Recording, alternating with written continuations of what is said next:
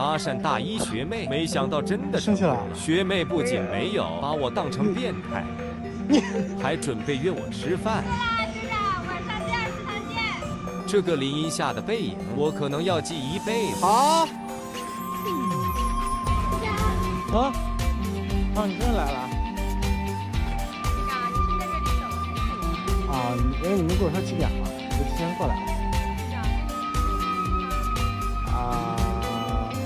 走吧，今晚请你吃饭。认识？好。快点。好。他的背影真的很好看。我请你吃饭，你就吃个面呀。哎呀，我就爱吃面嘛。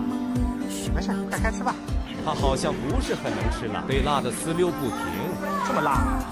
他被辣的样子也好可爱，可能因为太辣，他喝了我喝过的水。哎呦，你小心点！哎呦，我天哪，我天，没事吧？没。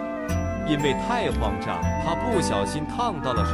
这是我们第一次肢体接触，不知道是害羞还是尴尬。一路上我们都没有说话。呃，麋鹿今天……嗯，那个学长，我还有事，我就先走了。呃呃，那个麋鹿，我看着他慌乱的样子，应该没有生我的气吧？